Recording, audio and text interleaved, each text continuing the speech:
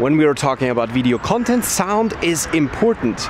If you have halfway decent video quality and not so shaky footage, people will stick around if the information stored within your video is good enough for them.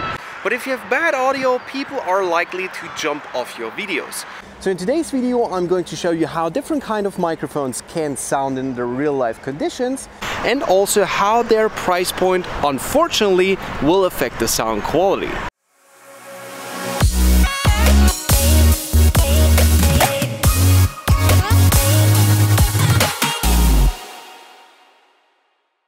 What up guys, welcome back to the episode. My name is Edwir and today we are going to talk about the importance of good audio quality. There are different kind of microphones for different kind of situations and they all come in at different price points but the big question is which microphone does fit your needs and are affordable microphones necessarily bad? In today's video, I'm going to compare the Godox VD mic, the Hollyland Lark 150, the Deity D3 Pro and the Zoom H8's XY H- Six microphone and to level the playing field all of the microphones are feeding into my Zoom H8. To give you a good impression how the different microphones sound under certain conditions I came up with this crazy looking audio rig. And as we progress along through the video I will shuffle through the individual microphones while I'm talking to you and while I give you dedicated samples from out in the field.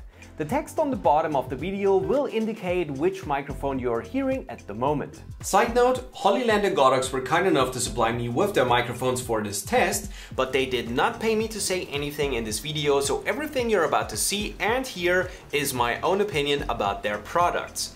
Regarding the Deity D3 Pro, I already made an in-depth video so I will link it here for you so you can watch it later. With that said, let's begin with what comes in the box and what makes each and every one of those microphones so special. Let us start with the Godox VD mic.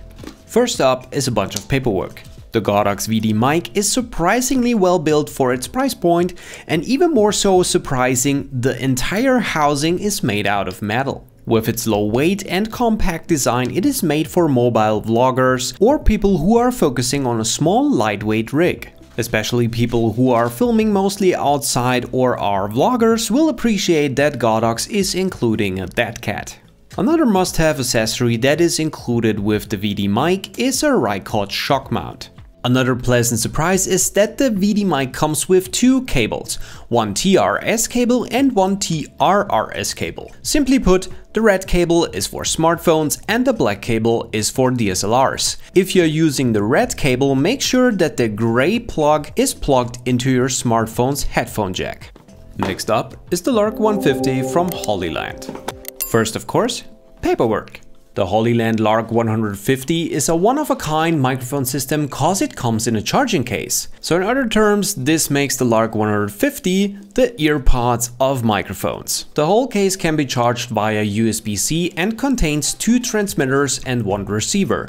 Every time you are inserting one of those, it will automatically charge them so they are up and ready to go whenever you need them in the field. The individual units are kept in place due to magnets. The receiver, which is located in the middle, also serves as a display so you will always be able to check the status of the individual modules and the case. Like the Godox VD mic, the Lark 150 comes with an extensive amount of accessories. Thankfully, they also included a fairly nice pouch to store all of these. We have a TRS cable, one USB-A to USB-C charging cable, two additional lavalier microphones which can be plugged into the transmitters, and two dead cat-like thingies that can be applied to the internal microphones of the transmitters to protect them from wind noise. Comparing microphones in a controlled studio environment in my opinion is only half of the story.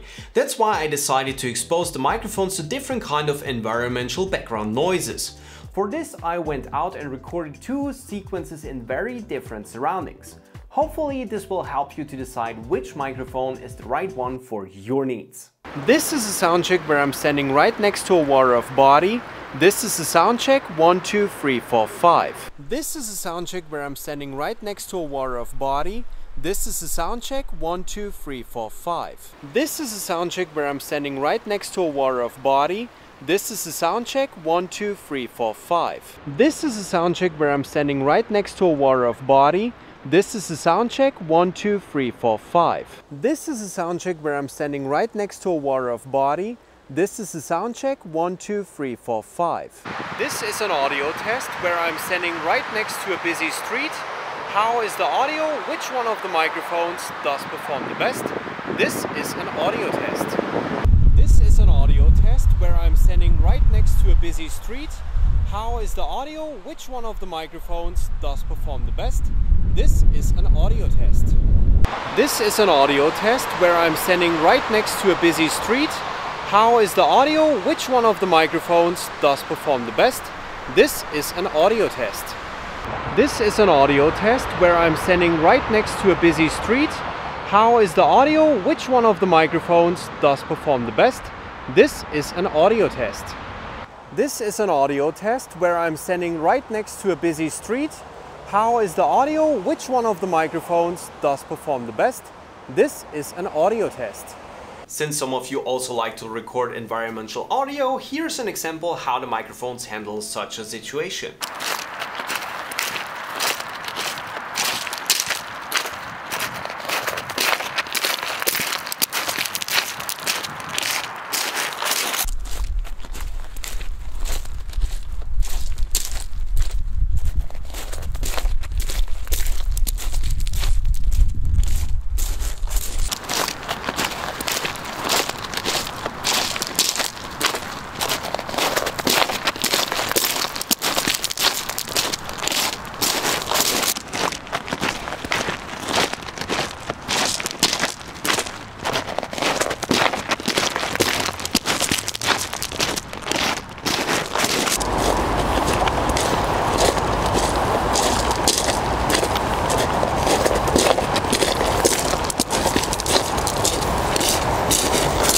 Now we know how the individual microphones sound like, so let's talk about the things I like and dislike about the Lark 150 and the VD mic. The VD mic, in my opinion, is a super versatile, low profile, low budget mic that can record on every kind of device.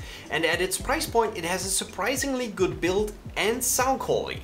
The only thing I don't like about it is that due to its weight, the Rycote mount has a hard time keeping it level. So make sure it is actually pointing to the source of sound you want to record. The Hollyland Lark 150 is a unicorn. The build quality of this device is certainly supreme and the ease of use is hard to beat. The Lark can record to smartphones and cameras. Especially helpful in interview scenarios is that you can record with two microphones.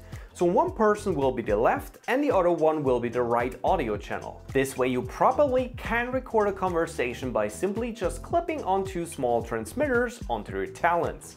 If you don't want the microphones to be seen, Hollyland even includes two lavalier microphones that can be plugged into the transmitters for a concealed setup. Another thing worth mentioning is the ability to monitor your audio levels on the Lark 150's receiver.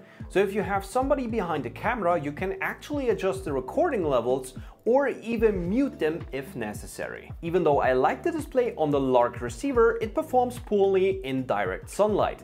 And once it's entering standby, it becomes almost invisible. I also did an open field test to see how far the transmitter and receiver can go apart from each other and I have to say my results were far away from the promised 100 meters. So you can go about 10 meters until the receiver starts to drop all kinds of audio. Every now and then it re-establishes the connection, but after that it is breaking off again. Once you get a little bit closer, it already starts to improve again. A bunch of you guys reached out to me how the Lark 150 works with an iPhone. So the important thing is that in the settings you have to be in mono mode, otherwise the iPhone will not recognize the sound that comes out of the Lark 150 and you will also have to have one of those TRRS cables I showed you in the beginning of the video, otherwise it will not work. And if you have one of the newer iPhones, you will have to have one of those lightning headphone jack adapters. Otherwise, it's yet again not going to work. So as you can see, this is how it sounds. So this was the tap test. And if I remove the Lark 150 from the iPhone, This is how the iPhone 12 Pro sounds regularly. But all things considered, the fact that the Lark 150 is the EarPod equivalent for microphones, it's pretty impressive and you certainly get a lot for your money. In conclusion, the most important question is which of the microphones was your favorite? If you had to choose one of these microphones for the rest of your life, which one would it be? Let me know in the comments. With that said, I hope you learned something new today and if you liked today's episode, don't forget to like, share, subscribe. Thank you for watching and I see you in the next one.